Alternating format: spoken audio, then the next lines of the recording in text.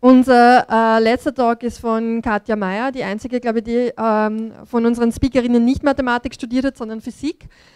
Ähm,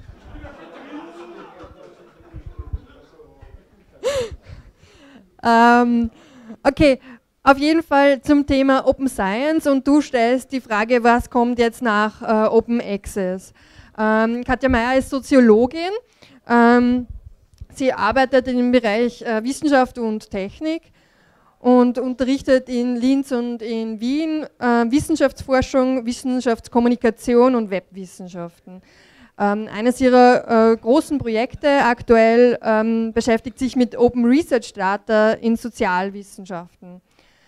Und was mich besonders freut, ist, dass du Teil der OK bist. Du bist in der Arbeitsgruppe Open Science. Genau, so wie ich in der OK bin. Darum freue ich mich so. Ähm, also, ja, Open Science Gruppe ist da. also, bitte. Also, ich fange dann mal an. Ich brauche auch irrsinnig lang. Also, es wird ein langer Vortrag. Zuerst fange ich mal an, auch indem ich sagen möchte, danke MetaLab. Äh, und ich sollte MetaLab schöne Grüße von Jeffrey Schnapp ausrichten, vom MetaLab Harvard, mit dem ich gerade vorhin geredet habe. Und der äh, gemeint hat, als sie damals das MetaLab in Harvard MetaLab genannt haben, haben sie Angst gehabt, äh, ob da es irgendwelche Konflikte mit dem MetaLab in Wien geben könnte. Äh, Hat es nicht, ist auch irgendwie ein bisschen ein anderer Ansatz dort. Nichtsdestotrotz äh, richtet er ganz herzliche Grüße aus und meint, es sollte da mehr Austausch geben. also so viel vorweg. So, jetzt zum Thema Open Science. Ich habe noch den Krypto-Knick in der Optik, also ich weiß nicht, äh, ob ich jetzt selber da so schnell umsteigen kann, aber ich werde es versuchen. Äh, What science becomes in any historical era depends on what we make of it. Das ist ein Zitat, das ich immer verwende in ganz vielen Lehrveranstaltungen, weil ich eben sehr stark daran glaube, dass es unsere Kraft ist, wie wir unsere Methoden äh, und wie wir auch zum Beispiel die Neutralität von Methoden äh, definieren, äh, dass es unsere, unserer Kraft obliegt, was damit passiert. Ähm, ich frage jetzt nur mal kurz in die Runde, wer weiß nicht, was Open Access to Publications ist?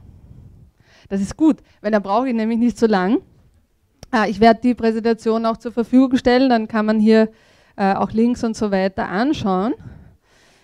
Ähm, dann gebe ich mal diesen ganzen Teil weg, den ich vorbereitet habe in Case of. Ich möchte nur äh, äh, feststellen, damit das auch, weil das ja hier eine Informationsveranstaltung ist, dass auch alle darüber Bescheid wissen, dass es das Open Access Network Austria gibt.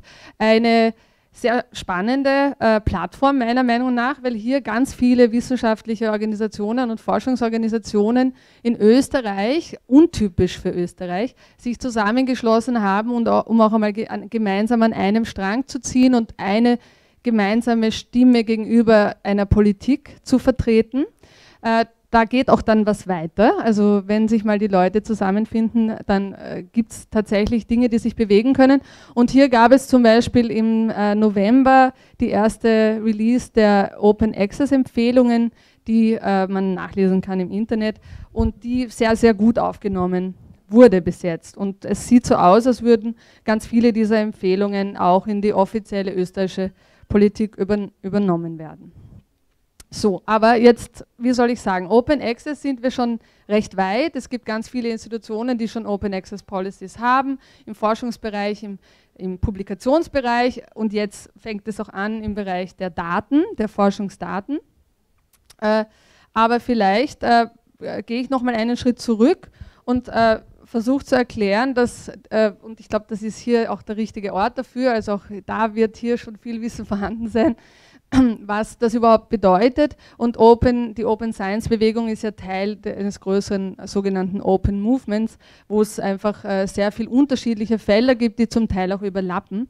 Und das muss man auch immer in dem Kontext dieses Movements sehen. Ähm, hier auch vermutlich sehr bekannt äh, die sogenannte Open Definition. Äh, die, ich bin da jetzt keine äh, Fundamentalistin. Ich finde, es ist okay, wenn man Teile davon verwendet. Man, es ist nicht erst dann offen, wenn man alle diese Dinge erfüllt. Aber wie ihr euch vorstellen könnt, da gibt es natürlich auch äh, die sogenannte Open Police, die da sehr streng ist und sagt, man äh, kann nur von Open reden, wenn irgendwie all diese Dinge ähm, erledigt sind. Ähm, Open Science besteht aus unterschiedlichen äh, Herangehensweisen. Das ist jetzt auch eine sehr rigide Einteilung, die auch sehr stark überlappend ist. Open Access ist bekannt. Äh, dann eine groß, ein großer neuer Schwerpunkt ist äh, auf Open Research Data. Ich sage auch immer dazu Materials, weil es gibt in den qualitativen Sozialwissenschaften oder in den Humanities Bereiche, wo man nicht unbedingt von Data im klassischen Sinn sprechen kann oder auch im Sinne einer Data Science, sondern wo es einfach sehr viel unterschiedliche, unstrukturierte Materialien gibt, äh, auch Audio, Video und so weiter. Äh, Dinge, die man nicht so einfach ähm, strukturieren oder homogenisieren kann. Dann gibt es den Bereich Open Source. Eh klar, im, im, Wissenschaftsbereich würde ich das auch eher Open Methods nennen. Also da geht es ganz stark darum, dass man zum Beispiel in dem Ablauf einer Methode oder auch in der, äh, in der Entwicklung einer Methode Einblick möglich macht. Das heißt, dass man es entweder dokumentiert, was man tut. Also da gibt es zum Beispiel in der Chemie die, die, die Leute, die Open Notebooks betreiben, das heißt, wo wirklich tatsächlich alles, was im Labor passiert, sofort öffentlich zugänglich äh, notiert wird und dann auch kommentiert und annotiert wird. Da ist schon ziemlich viel äh, passiert. Äh, da, das passiert jetzt auch äh, in der Biochemie zum Beispiel sehr stark. Äh, Im, Im Rahmen der Zika-Forschung, also der Erforschung des Zika-Virus, hat es da einige äh, wirklich auch tolle Open Notebook Labs und Zusammenschlüsse gegeben, die schon sehr viel gebracht haben. Ähm, aber es müssen nicht Open Notebooks sein, es gibt da auch noch ganz viele andere Möglichkeiten, wie man seine Methoden offenlegen kann, auch wiederum in den qualitativen äh, Wissenschaften oder in den Soft Sciences, ein dummer Begriff, äh, wäre es vielleicht eher so, dass man ähm, äh, die unterschiedlichen Forschungssubjekte, weil wir eben schon, das Wort ist jetzt hängen geblieben natürlich, äh, dass man die auch mehr einbezieht und deren Eigensinnigkeit äh, mehr berücksichtigt. Insofern gefällt mir dieser Ansatz sehr gut. Ähm, dann gibt es den ganzen großen Bereich und da ist, glaube ich, so der Leonard hier eher der Experte, aber vielleicht gibt es auch noch andere hier in der Gruppe, der Open Education, Open Educational Resources. Da, das ist eine ganz, ganz große Bewegung, die in unterschiedlichen Ausprägungen schon relativ weit fortgeschritten ist. Also zum Beispiel in Amerika ist es so, dass äh, ganz viele große Stiftungen wie die Gates Foundation oder die Hewlett Foundation zusammen mit Creative Commons eine regelrechte quasi Policy, wie sagt man, Policy Campaign oder so eine Hardcore Policy Attacke gefahren sind, dass tatsächlich jetzt äh, die Gesetze dahingehend geändert werden, dass an öffentlichen oder äh, also an Colleges, an commu sogenannten Community Colleges ähm, äh, Open Textbooks verwendet werden müssen und dass eben kein Geld mehr dafür ausgegeben wird, dass immer wieder sozusagen Autoren neu schreiben und es immer wieder dann über Verlage abgerechnet wird und ständig Lizenzen anfallen. Was natürlich ganz neue Methoden auch in der Lehre ermöglicht. es geht hin von Open Curricula zu Open Seminars und äh, Open Evaluation auch in der Gestaltung von äh, wissenschaftlich oder äh, e-, edukativen Material. Da habe ich schon jetzt darauf angesprochen, Open Evaluation, ein ganz ein großer Bereich, Altmetrics vielleicht vielen auch ein Begriff hier, unterschiedliche Arten der Messung von Produktivität, Erfolg. Äh, ich sehe das ein bisschen kritisch, auch, auch hier muss man immer schauen, was wird da eigentlich vermessen und manchmal, wenn man so äh, Altmetrics-Publikationen äh, liest oder so, hat man das Gefühl, da gibt es eine regelrechte, regelrechte neuen Verwässungswahn der wieder versucht, Dinge, die bis jetzt noch nicht quantifizierbar waren oder was weiß ich, Internetklicks und Likes und was weiß ich was einzubeziehen. Aber was auf jeden Fall gut ist, und ich, ich will das jetzt auch nicht hier total dekonstruieren, ist, dass Altmetrics ein, ein, uns einen Blick schafft, eine andere Perspektive schafft, was eigentlich überhaupt passiert in dem ganzen Evaluationsbusiness, das äh, ja, ziemlich überhand genommen hat und zum Teil schon sehr selbstreferenzielle Kreise schlägt. Ähm, genau, und der letzte Bereich, der auch von der Open Police nicht als, Citizen, äh, nicht als Open Science oft gesehen wird, ist, ich aber schon, ist der Bereich der Citizen Science. Jetzt ein, ein Bereich, den auch die Politik heiß liebt. Äh, es gibt den Glauben daran, dass man jetzt mit, indem man äh, Citizens als Datensammler oder sogenannte Social Sensors einsetzt, man sich irrsinnig viel Geld ersparen kann und super toll schnell äh, wissenschaftliche Datensammlungen akquirieren kann. So ist es natürlich nicht. Äh, Citizen Science ist meiner Meinung nach nur dann gute Open Science, wenn die Citizens äh, verantwortungsvoll und, äh, und im großen Maßstab in das Forschungsprojekt eingebunden werden. Das heißt, wenn sie schon im Forschungsdesign mitarbeiten können und so weiter und so fort, beziehungsweise wenn sogar Citizens selbst die Forschung ankicken, beziehungsweise wie das jetzt bei, in Amerika war, zum Beispiel die ganze Fracking, das ganze Fracking-Thema war sehr, sehr stark, also das kritische, die kritische Haltung gegenüber Fracking war sehr stark geprägt von Citizen Science-Projekten. Es ist sehr spannend, sich das anzuschauen. Schwerpunkt liegt in allen Bereichen auf respektvolles Teilen und äh, Kollaboration auf Transparenz und Reproduzierbarkeit, auf äh, Wiederanwendbarkeit und das Schaffen von wirklich auch Neuem. Und äh, es soll so reflexiv sein, dass man irgendwie die, sozial, die sozialen Auswirkungen der Forschung äh, mitbedenkt. Insofern die Data Science Gruppe hat da einen sehr guten Ansatz. Ähm, das Human Genome Project ist eines der Vorreiterprojekte, das irgendwie Open Science äh, noch nicht unter diesem Namen betrieben hat. Wie ihr ja wisst, das humane Genom, beziehungsweise dieses eine von damals, äh, eines äh, äh, weißen kriminellen Mannes übrigens, äh, ist äh, entschlüsselt worden in einem unglaublich aufwendigen Prozess, der ganz viele Ebenen von Open Science betroffen hat. Unter anderem wurden hier neue kollaborative Plattformen, technische Plattformen geschaffen. Man hat geschafft, äh, neue Methoden so zu tweaken, dass wirklich ganz, ganz, ganz viele tausende Wissenschaftler zugleich arbeiten können. Und äh, es gab unglaublich innovative Industry, äh, also Public-Private Partnerships. Äh, die Industrie, die sich zuerst total gesträubt hat, dass so etwas, also dass äh, das Genom nicht patentierbar sein wird, äh, hat dann erkannt, dass da die Zukunft drin liegt und hat sozusagen mitgearbeitet. Und am Schluss hat sie am meisten auch davon profitiert. Also zum Beispiel die ganze amerikanische Ostküste und die Biotech-Cluster, die dort sind, leben oder bauen auf auf, de, auf sozusagen Erkenntnisse, die damals auch gewonnen worden sind. So, ähm, ja, also Open Science äh, hat, kommt mit ganz vielen Versprechen und ganz, ganz vielen äh, äh, Imaginaries, wie wir das nennen würden. Also das ist die eierlegende Wollmilchsau für die Politik zurzeit. Es war jetzt gerade eine große Konferenz bei der niederländischen Präsidentschaft zum Thema Open Science und äh, das sind zum Teil auch leere Hülsen und viel Hype. Äh, das soll alles transformieren und es soll diese, dieses pyramidische äh, Verhältnis zwischen Gesellschaft, Politik und Innovation in eine Art Gleichschenkeligkeit bringen. Äh, ich, ich gehe da jetzt auch nicht ein, ich glaube, so ein Bild spricht für sich.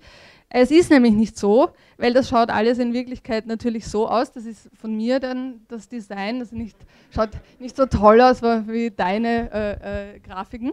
Aber es ist auch sehr messy. Es gibt ganz viele unterschiedliche epistemische Kulturen, die, die Felder divergieren. Es gibt ganz neue interdisziplinäre Felder, die sich gründen, die müssen sich erstmal verstehen lernen.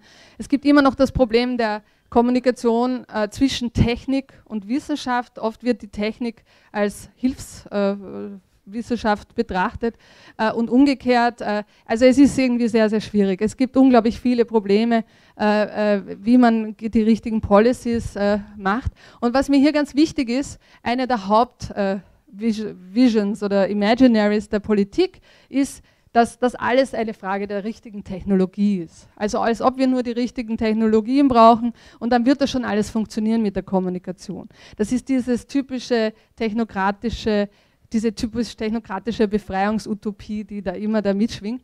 Und so ist das natürlich nicht und ich glaube, eben auch in diesem Raum hier wisst, wisst ihr ganz genau, äh, wie viele soziale Aspekte immer mit der Technologie verstrickt sind. Technology is frozen society. Ist auch so ein schöner Satz. Ja, äh, weil das der netzpolitische Abend ist, kurz bevor ich hier ende, habe ich mir erlaubt, mal so ein paar Challenges für Policies aufzuschreiben. Äh, ich will jetzt auch gar nicht im Detail durchgehen. Äh, was mich immer noch am meisten ärgert eigentlich, ist die ganze Frage der Intellectual Property, weil ich habe diese Konferenz in Amsterdam, wo jetzt die ganzen wichtigen Stakeholder vertreten waren und sich gegenseitig mit Blasen beworfen haben, im Stream zugehört. Und es ist wirklich so, dass äh, die, das wird immer von Open Innovation Ecosystems und was weiß ich was geredet, aber kein Mensch wird so konkret zu sagen, okay, wie schaut das jetzt rechtlich wirklich aus? Ja? Und Innovation, wie wir wissen, basiert sehr, sehr stark auf diesem klassischen strengen IP-Regime. Das heißt, äh, irgendwie alles patentierbar machen und dann davon Kohle scheffeln. Und das Problem ist, äh, dass die ganzen alternativen Verwertungsmodelle, die ja schon existieren, die auch schon praktiziert werden, zum Beispiel auch in wunderschönen Open Innovation Projekten in Afrika oder Indien oder auch bei uns im Vorarlberg, äh, im Waldviertel und so weiter, äh, dass die überhaupt keinen Einzug finden in die, in die Politik beziehungsweise auch extrem boykottiert werden. Und das ärgert mich einfach und da könnte ich mich unglaublich drüber aufregen die ganze Zeit. Aber das ist einfach schade und ich habe auch mit Leuten eben von Creative Commons und so weiter schon über das geredet und es ist einfach in Europa, es ist in Amerika anscheinend leichter und in anderen Ländern und Kontinenten als in Europa. In Europa ist das ganz besonders arg blockiert. War ja auch schon Thema hier. So, und jetzt kurz bevor ich aufhöre, äh, was man nicht vergessen darf bei der Open Science Bewegung, trotz all diesem Policy-Quacks, ist, dass das eine Bottom-up-Bewegung ist. Das heißt, jede von uns, jeder von uns, äh, die ihr hier auch vielleicht Wissenschaft betreibt oder am Rande unkonventionellere Art von Wissenschaft, äh, vergesst einmal diese Direktive, die man so eingebläut bekommen hat, Work, Finish, Publish. Das wissen wir längst, dass das so nicht funktioniert. Äh, das Wichtigste ist, glaube ich, dass wir, und jetzt das MetaLab auch ein schönes Beispiel dafür, dass man Skills trainiert, wie man zusammenarbeitet und wie man auch respektvoll und äh, vertrauensvoll zusammenarbeitet. Ähm, dann schaut mal, wie weit ihr irgendwie äh, euch öffnet oder öffnen könnt. Ja? Äh, schaut, wie sehr ihr Daten produziert, die man öffnen könnte, wie weit andere Formen der Kommunikation geöffnet werden können und haltet immer Ausschau danach, dass ihr neue äh, Spaces, also neue Räume und neue Materialien erforscht und produziert. Und äh, das, was ich dann sage, so eine Art Checklist, wofür, wo, wonach soll man fragen, weil man soll ja immer fragen und äh, in seinen diversen Institutionen auch immer wieder pochen.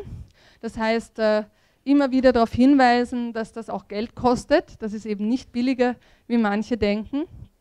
Äh, und dass es ganz, ganz dringend auch eine Änderung im Reputationssystem braucht, weil jetzt immer noch die Wissenschaft auf dem basiert, dass man Papers schreibt und dann irgendwelche Indikatoren oder Impact Factors äh, äh, gemessen werden, dass man dann irgendwie den Hirsch-Index 155 hat, der so viel bedeutet wie 155 Mal wurden 155 meiner Paper gezitet. Und mehr sagt er eigentlich nicht.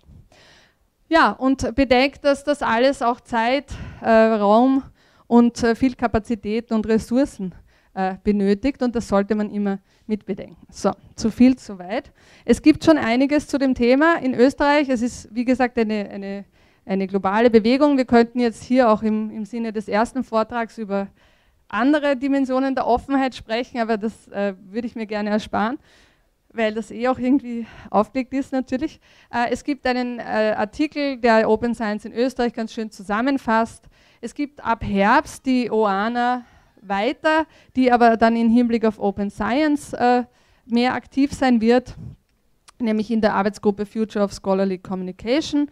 Es gibt die Open Knowledge Arbeitsgruppe, äh, die auch, glaube ich, nachher noch ein bisschen da sein wird für ein kleines Tratschall, wenn ihr Lust habt und wenn ihr euch dafür interessiert. Ich bin auch dabei, ich kann euch herzlich dazu einladen. Und eine kleine Werbung muss erlaubt sein. Es gibt nächsten Montag ein Meetup, wo wir äh, versuchen, also wir versuchen es mal. Ne? Wir wissen nicht, ob wir es schaffen. Äh, äh, es sind ja unglaublich viele Strategieprozesse im Moment am Laufen. Also ich glaube, es war ja hier auch schon Digitales Österreich oder Open Innovation, whatever, irgendwas war hier auch schon präsentiert, kann mich jetzt gar nicht mehr erinnern. Digi Open Roadmap, Digital Roadmap, genau. Also wir versuchen die Digital Roadmap, die ERA Roadmap, Responsible Research und Innovation Guidelines äh, ähm, Open Innovation und all diese anderen Strategien, die irgendwie darauf abzielen, uns völlig zu verwirren und alle modulhaft fast das Gleiche sagen, wenn man sie genauer anschaut, einmal zusammenzuschauen und zu schauen, was bedeutet das eigentlich für die Wissenschaft und für die Offenheit von Wissenschaft. ja, das war's von mir und äh, ja, ich lade euch herzlich ein, äh, bei dem Thema auch irgendwie dran zu bleiben. Danke.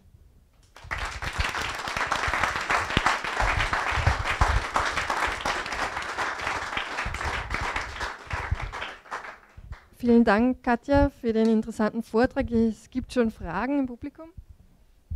Ja, danke für den interessanten Vortrag. Äh, Stichwort Reproducibility Crisis in den Sozialwissenschaften.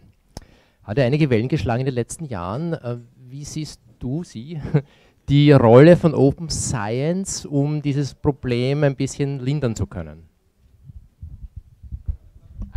Mit Reproducibility Crisis kann man Open Science immer sich gut verkaufen.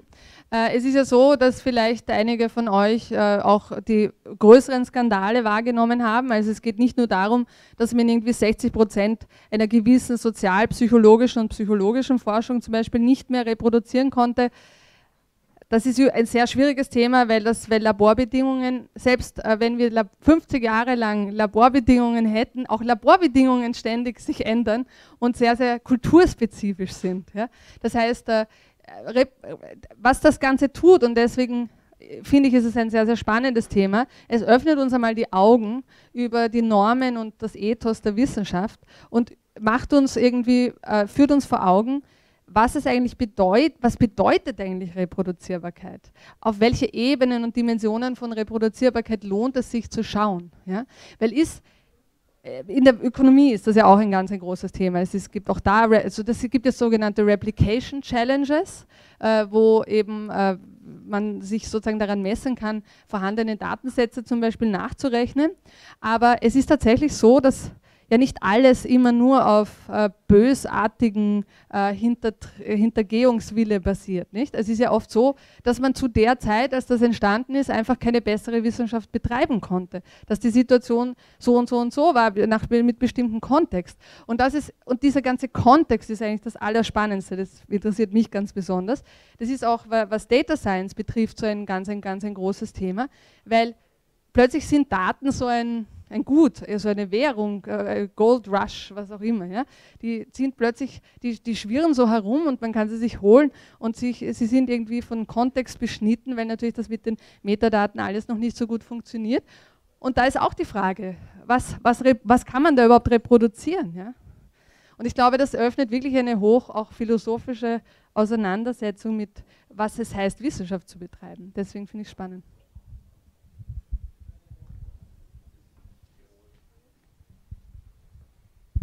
Hallo. Äh, erstmal vielen Dank. Ich wollte von Soziologe zu Soziologin eigentlich nur eine ketzerische Frage stellen, nämlich ähm, wie viele Punkte und Impact Factor kriege ich jetzt für meine Dissertation, wenn ich ein Open Sciences Projekt mache? Weil, und das wurde ja dann auch schon angesprochen, ähm, das Problem der gesamten Bottom-up-Bewegung natürlich auf unglaublich starre, langsame Mühlen trifft, die in einem Bewertungs- und Hierarchisierungssystem äh, natürlich nochmal an jemand anderen gebunden sind die nicht aus ihrer Epistemic Culture eben herauskommen. Ähm, wie wird damit umgegangen? Das ist so die erste Sache. Und äh, ja, ich glaube, das ist eine große Frage. Also. keine zweite Frage mehr merken wahrscheinlich. Äh, die, äh, diese Frage stimmt, also da, das weist hin auf, eine, auf das große Problem, dass die Mühlen langsam malen.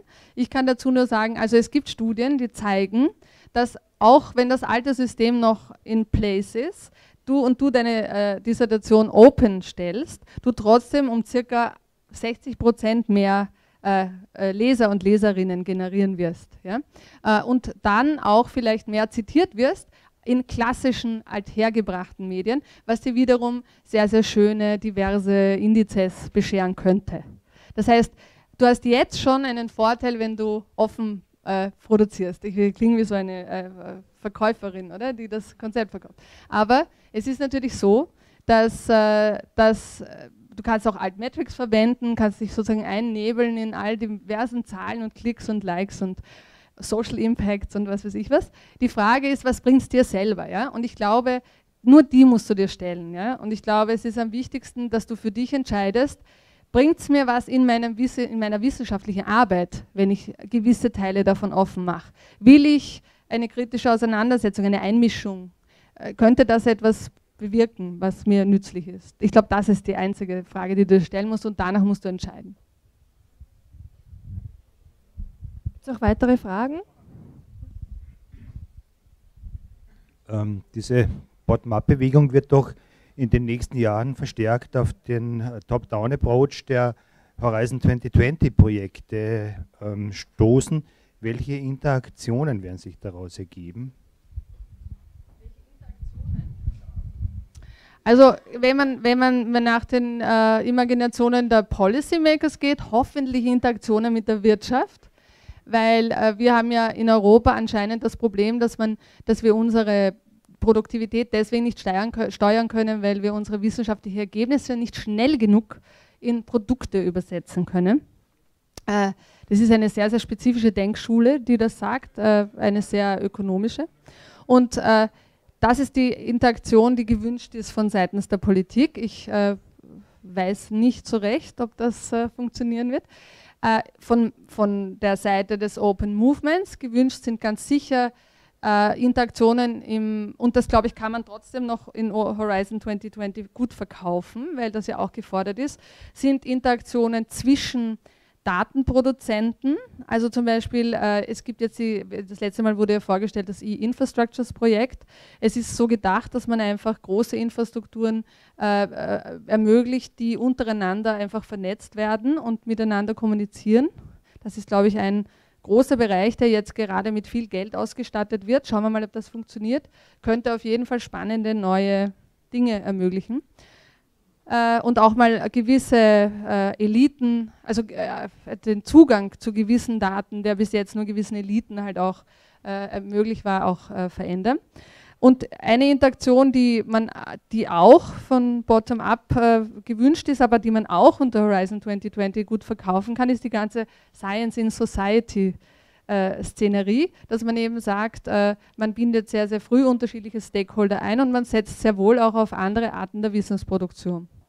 Also das ist sicher etwas, was äh, sehr, sehr spannend ist in den Sozialwissenschaften speziell. In diesem ganzen Bereich der Citizen Science, wenn sie respektvoll begangen wird, sozusagen. Ja. War das beantwortet? Ja. Ich hätte noch eine nicht ketzerische Frage, die sich eher immer daran richtet, äh, weil wir beim Thema Transparenz wären, welche Impulse Open Science oder Open Education bereits auf unseren Markt gesetzt haben. Nachhaltige vor allem. Also ich glaube, also ich kann jetzt für Österreich und Open Education oder für den deutschsprachigen Raum für Open Educational Resources wenig sagen, weil da kenne ich mich wenig aus. Da gibt es andere Experten und Expertinnen. Impulse, die ich aber in, bei Erfolgsgeschichten sehe, wie das eben in einigen afrikanischen Ländern zum Beispiel der Fall ist äh, oder auch in ein, einigen asiatischen oder auch zum Beispiel in Brasilien, ist äh, bei jetzt e Open Educational Resources, dass einfach dieses diese Wissenshoheit, ja, also wer hat die Hoheit, Wissen zu schaffen, das dann gelehrt wird, ja, an, an Schulen zum Beispiel, äh, dass das völlig neu distribuiert wird und ein ganz neuer Aushandlungsprozess ist. Das heißt, die Trans Transparenz da, ich weiß nicht, ob ich jetzt deine Frage beantworte, aber das ist etwas, was, was sehr viel schon verändert hat. Ja? Ich wiederhole es. Ja? Monetarisiertes Wissen in Buchform, habe ich das richtig? Ja, ja, ja. Das sozusagen monetarisiertes Wissen, das so das gekauft ist, das dann frei verfügbar gemacht wird. Also sozusagen die legale Variante von Sci-Hub oder so. Äh, es gibt tatsächlich einige Open Access Journals, äh, die äh, begonnen haben, formally monetized knowledge jetzt offen zu legen. Ja? Äh, ist, dafür kriegen sie manchmal Geld, dass sie das tun, äh, manchmal auch nicht. Es gibt viele Autoren und Autorinnen, die ihre Werke einfach auch, weil sie zum Teil kein, weil es ihnen egal ist, was auch die äh, Verträge der, mit den Verlagen anbelangt, betrifft, äh, offenstellen. Also da ändert sich sehr viel. Äh, aber es wird, ist trotzdem so, dass wir, und das wird auch einiges im Denken verändern, natürlich äh, jetzt in die Ära der Offenheit erst eintreten und das wird einfach auch sehr viel umschichten, wo wir nachschauen. Und es wird gewisse klassische Werke vielleicht dann auch äh, in ihrer Wichtigkeit ein bisschen reduzieren.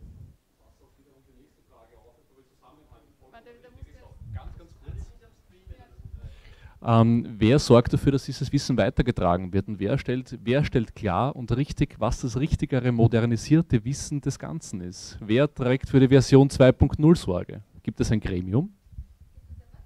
Ein Gremium. Das Gremium.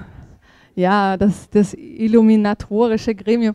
Ähm, äh, also es gibt äh, in vielen, es ist unterschiedlich organisiert. Es gibt in manchen Ländern gibt's, äh, Gremien, die das irgendwie besprechen und auch zum Teil sehr off, in einer sehr offenen Art und Weise.